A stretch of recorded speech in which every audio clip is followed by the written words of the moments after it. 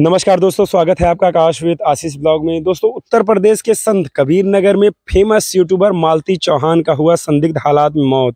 मौत के उनके कुछ घंटों पहले उनके यूट्यूब से उनका एक वीडियो आया था जिसमें उन्होंने बताया था, अगर मेरी मौत होती है या कुछ भी होता है ऐसा तो उसके जिम्मेदार उनके पति विष्णु राज जी होंगे।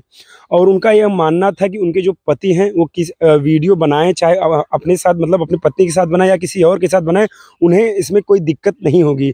और उस वीडियो में उनकी पत्नी ने यह भी कहा है हम अपना चैनल जो है, मेरा चैनल है, हम उसे बंद नहीं करेंगे। और उन्होंने यह बताया और पता चला है कि दोस्तों, जो उन्होंने ससुराल में घर बनवाया था, वो मालती चौहान के पैसों से ही उनका घर बना था। तो दोस्तों, अभी तो उन, उन पोस्टमार्टम हुआ है और जब रिपोर्ट आएगी तो पता चलेगा क्या हुआ है कैसे हुआ है।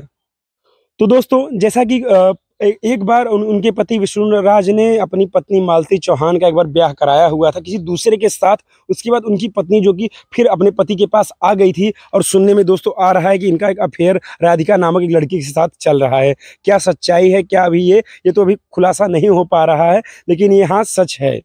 और दोस्तों, बात ये भी है कि उनके घर के आसपास अगल बगल जितने भी यूट्यूबर हैं, महिलाएँ हैं, लड़कियाँ हैं, जो यूट्यूब पर अपना यूट्यूब पर अपना वीडियो बनाती हैं उनके एक डर का माहौल बना हुआ है कि वीडियो बनाएँ या ना बनाएँ, क्या करें, क्या ना करें। और ये जो भी मामला पूरा है पोस्टमार्टम रिपोर्ट आने के बाद ही पता चलेगा कि क्या है मामला, क्या है इनकी पूरी सच्चाई, कि इन, और ये जो इनके पति हैं विष्णु राज जो राधिका के साथ इनका अफेयर चल रहा है, इसके बारे में भी जल्द खुलासा होने वाला है, दोस्तों। तो दोस्तों, एक यूट्यूबर की मौत मतलब एक बहुत ही एक अलग खबर है क्योंकि एक, हम भी यूट्यूबर हैं और एक यूट्यूबर की मौत होना एक अच्छी बात नहीं है। ये हर एक यूट्यूबर की आवाज़ है कि कोई भी यूट्यूबर की अगर मौत हो जाती है तो हम, हमारा फ़र्ज़ होता है कि हम उसे आप तक दिखाएँ। तो चलिए ठीक है दोस्तों, जैसा भी होगा पोस्टमार्टम रिपोर्ट आने के बाद ही पता चलेगा। ये ब्लॉग कैसा लगा अच्छा लगा हो तो लाइक करें शेयर करें सब्सक्राइब करें। मिलते हैं आपसे किसी नेक्स्ट ब्लॉग में।